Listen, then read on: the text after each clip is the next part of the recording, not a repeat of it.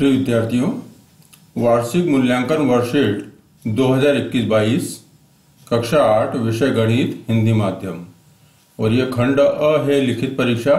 परीक्षा की अवधि ढाई घंटे है और पूर्णांक है साठ। यहाँ से वर्कशीट पर कार्य प्रारंभ करें। खंड अ, बहुविकल्पीय प्रश्न है, एक से दस। निर्देश, प्रश्न को पढ़कर नीचे दिए गए विकल्पों में से सही विकल्प चुनकर लिखिए। प्रश्न एक है, निम्नलिखित में से किस संख्या को ऋण पाँच बटे चार में जोड़ने से ऋण एक प्राप्त होगा? विकल्प दिए हैं, ऋण एक बटे चार, एक बटे चार, ऋण पाँच बटे चार और तीन बटे चार। प्रश्न नंबर दो, निम्न परिमेय संख्याओं में से कौन सी परिमेय संख्या दो बटे तीन और तीन बटे पाँच के बीच स्थित है? संख्याएँ दी है छ बटे पंद्रह छ बटे तीस, उन्नीस बटे तीस और उन्नीस बटे पंद्रह। प्रश्न तीन है, उन उनपचास एक्स वर्ग, ऋण छत्तीस वाई वर्ग के गुणनखंड क्या होंगे? ए दिया है सात एक्स ऋण छ वाई, सात एक्स ऋण छ वाई, सात एक्स धन छ वाई, सात एक्स ऋण छ वाई। सी है उनपचास एक्स धन छत्तीस वाई उनपचास एक्स ऋण छत्तीस वाई उनपचास एक ऋण छत्तीस वाई और उनपचास एक्स ऋण छत्तीस वाई तो देखो, ये सात का वर्ग है उनपचास तो ये हो जाएगा पूरा सात एक्स का वर्ग, और छ का वर्ग है छत्तीस तो ये हो जाएगा छ वाई का पूरा वर्ग। तो सात एक्स ऋण छ सात एक्स का वर्ग, ऋण छ वाई का वर्ग। तो ये ए वर्ग ऋण, बी वर्ग से होगा, जिसका मान होता है ए धन बी गुणित ए ऋण बी। ये हो जाएगा सात एक्स धन छ वाई, गुणित सात एक्स ऋण छ वाई। तो ये बी उत्तर रहेगा इसका। इस प्रकार से आपको उत्तर ज्ञात करना है। प्रश्न चार है, समीकरण एक ऋण दो बराबर सात में एक्स का मान है। देख, किसमें से दो घटाए तो सात आए। तो नौ में से दो घटाएँगे तो सात आएगा। या पक्षांतर करो, ऋण दो का उधर करेंगे, धन दो हो जाएगा, सात और दो नौ हो जाएगा। तो एक्स का मान नौ आ जाएगा। प्रश्न नंबर पाँच है, अट्ठारह एक्स भागित नौ एक्स वाई का मान होगा। भागित मतलब अट्ठारह एक्स वाई के बटे नौ एक्स वाई तो एक्स वाई से एक्स वाई कैंसिल हो जाएगा और अट्ठारह का में भाग लगेगा नौ का तो नौ दोनों अट्ठारह तो केवल आएगा दो। प्रश्न नंबर छह, एक सम बहुभुज की कितनी भुजाएँ होगी यदि एक बाह्य कोण का माप चौबीस अंश हो? तो बाह्य कोण का माप चौबीस अंश हो तो आंतरिक कोण मान कितना होगा? 180 में से 24 घटा दो तो आ जाएँगे एक सौ छप्पन अंश। इसके हिसाब से भुजाएँ निकलेगी कि कितने निकला है? प्रश्न नंबर सात, निम्न में से द्विमिमी आकृति है। यहाँ पर जो बाह्य कोण का मान चौबीस दिया है तो 360 में चौबीस का भाग देंगे तो कितना मान आएगा? 15 आएगा। तो यहाँ पर 15 उत्तर होगा। आप भी सूत्र से देख लेना। प्रश्न नंबर सात, निम्न में से द्विमिमी आकृति है। वर्ग, गोला, घन, शंकु। तो देखो, घन, शंकु जो वर्ग सामने से सब कुछ जो दिख जाता हो, ये सामने ये द्विमिमी है। वो सामने सब कुछ दिख जाए, वो द्विमिमी आकृति। गोले सामने से सब कुछ नहीं दिखता, इसके पीछे भी भाग रहता है। घन में भी ऐसा रहता है, इसके पीछे भाग रहता है जो दिखाई नहीं देता। शंकु में भी पीछे की तरफ़ भाग रहता है जो दिखाई नहीं देता। केवल वर्ग में सामने पूरा भाग रहता है वर्ग का तो दिखाई देता है वो द्विमीय आकृति है। प्रश्न नंबर आठ है, दस अंश का मान होगा।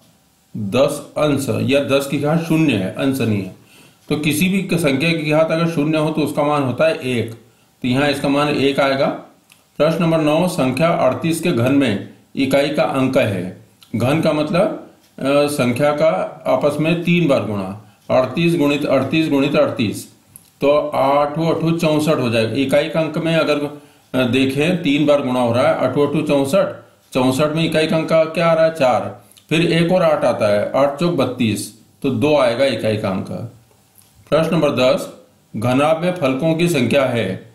घनाभ में फलकों की संख्या और घन में फलकों की संख्या दोनों में समान होती है, जो छह होती है। प्रश्न नंबर, लघुत्तरी प्रश्न है, प्रश्न 11 से 20 निर्देश नीचे दिए गए प्रश्नों के उत्तर लिखिए। प्रश्न 11 अभाज्य गुणनखंड विधि से 400 का वर्गमूल ज्ञात कीजिए। प्रश्न नंबर 12 व्यंजक x गुणित x ऋण तीन धन दो को सरल कीजिए और x बराबर एक के लिए मान ज्ञात कीजिए। प्रश्न नंबर तेरह सर्व समीका ए धन बी का वर्ग बराबर, ए वर्ग धन दो ए, बी धन बी वर्ग का उपयोग करते हुए दो एक्स धन तीन वाई का वर्ग का मान ज्ञात कीजिए। देखो, ए बराबर है दो एक्स यहाँ पे और बी बराबर है तीन वाई तो ये ए का वर्ग है तो मतलब किसका वर्ग आएगा? दो एक्स का पूरे का वर्ग। तो दो का वर्ग हो जाएगा चार और एक्स का वर्ग। अब दो ए, बी, ए और बी, ए है दो एक्स और बी है तीन वाई।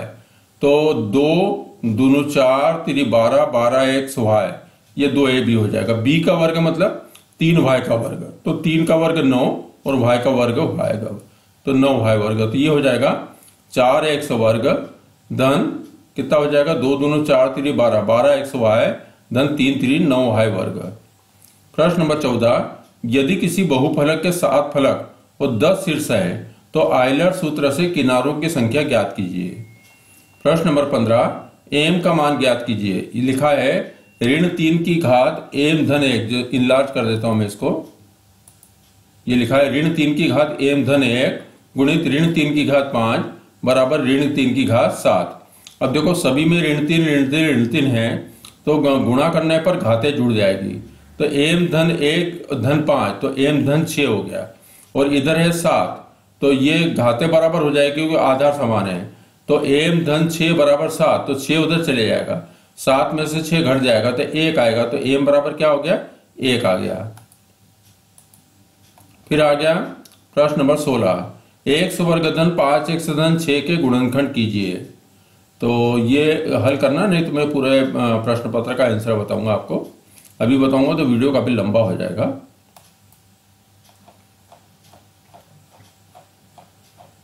प्रश्न नंबर सत्रह, जब एक पासे को फेंका जाता है, तब पाँच से बड़ी एक संख्या आने की प्रायिकता क्या होगी? तो देखो, पासे में छह अंक होते हैं, एक, दो, तीन, चार, पाँच, छह, या छह फलक होते हैं। मतलब प्रत्येक फलक पे एक एक अंक लिखा तो छह हो गए। अब पाँच से बड़ी केवल एक ही अंक आएगा, छह। अब छह की आने की प्रायिकता क्या है? तो छह पूरे फलक में केवल एक ही बार है। और टोटल फलक कितने हैं? छह है। तो प्रायिकता क्या हो जाएगी? अनुकूल संभावना बटे कुल संभावना। अनुकूल संभावना मतलब छह कितनी बार आ सकता है? केवल एक बार। और कुल संभावना कितनी है? कुल फलक कितने हैं? छह। तो बटे में छह आ जाएगा। तो एक बटे छह इसकी क्या हो गई? प्रायिकता। इस प्रकार से प्रायिकता निकालते हैं। प्रश्न अठारह। वह सबसे छोटी संख्या ज्ञात कीजिए, जिससे दो का गुणा करने पर पूर्ण घन प्राप्त हो जाए। प्रश्न 19 एक ऐसे सम चतुर्भुज का क्षेत्रफल ज्ञात कीजिए, जिसके विकर्णों की लंबाइयाँ 10 सेंटीमीटर और 12 सेंटीमीटर है। प्रश्न बीस। छह बटे तेरह को ऋण सात बटे सोलह के व्युतक्रम से गुणा कीजिए। तो छह बटे तेरह को ऋण सात बटे सोलह के व्युतक्रम व्युतक्रम मतलब उल्टा तो इसको उल्टा कर दो। सोलह को ऊपर ऊपर ले आओ, ऋण सात को नीचे ले आओ। अब गुणा करो और देखो क्या आता है। दीर्घ उत्तरी प्रश्न। प्रश्न 21 से 24 निर्देश, नीचे दिए गए प्रश्नों के उत्तर लिखिए।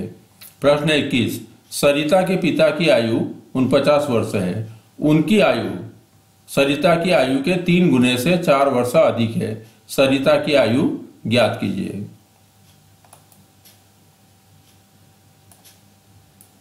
प्रश्न नंबर बाईस है, किसी समांतर चतुर्भुज के दो आसन्न कोणों का अनुपात, तीन अनुपात दो है। समांतर चतुर्भुज के सभी कोणों का माप ज्ञात कीजिए।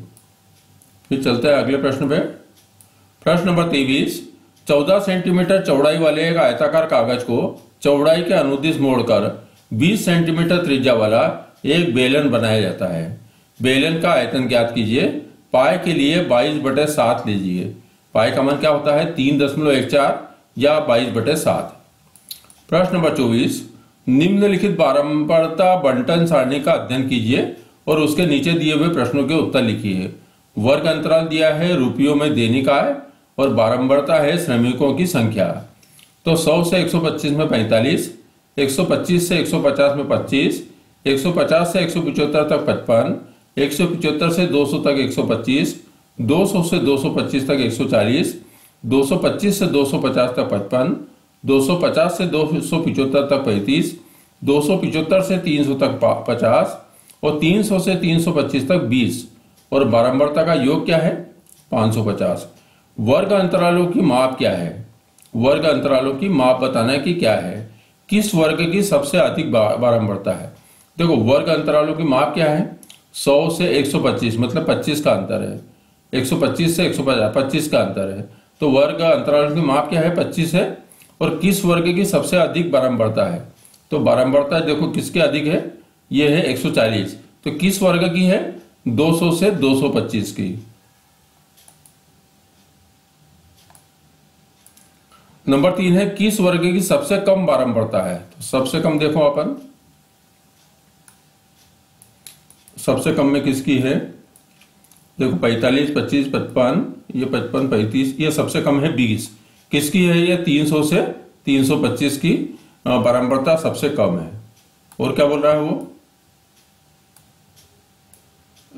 वर्ग अंतराल 250 से दो की उच्च सीमा क्या है? उच्च सीमा दो है। किन दो वर्गों की बारंबारता एक ही है? तो देखें अपन, किन दो वर्गों की बारंबारता एक ही है। यहाँ पर है, ये पचपन है और ये पचपन है। ये दो वर्ग हैं इनकी जिनकी बारंबारता एक ही है। है ना, बाकी पैंतालीस, पच्चीस, पचपन, एक सौ पच्चीस, एक सौ चालीस, पचपन, पैंतीस, पचास, बीस, सब अलग अलग है। केवल पचपन पचपन ये दो जगह, पचपन और पचपन। पचपन की वर्गांतराल क्या है? 150 से एक और इसकी है 225 से दो 250